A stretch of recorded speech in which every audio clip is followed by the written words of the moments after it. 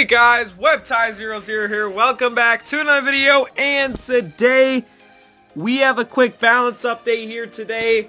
Um, just kind of things for some overdrive, like Cam Newton, base captain value increased from 85 to 100. Mike Evans, captain bonus value increased from 130 to 145. Tony G's base captain bonus reduced from 165 to 150. Not really super major changes but just some minor stuff.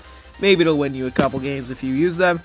Also, Russell Wilson's requirement was increased from 225 to 265 all-purpose yards. I don't know his points.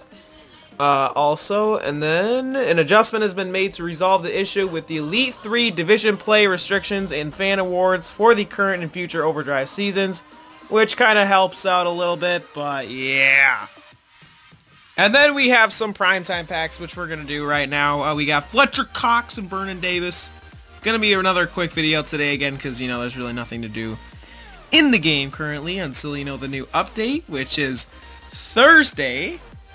And uh, we'll get into these real quick.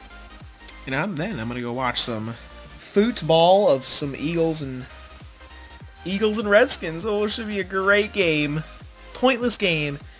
Except I did do a DraftKings, so let's hope I win some money, and we might not pull our GG boy in this one. Boom, and we are not going to pull it this time.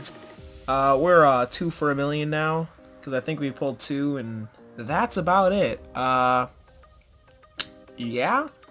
My team, Calvin is going to stay for a while. Um, Calvin's, you know, been helping out the squad. It's been a little easier now because I'm, you know, running in, you know, getting that, getting those overdrive points. And, uh, yeah, stream will maybe on Thursday. I might stream Thursday.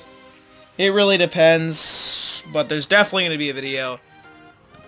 But yeah, hope you guys have enjoyed this video. If you did, drop a like down below and subscribe if you guys are new. And I'll catch you guys later. Peace.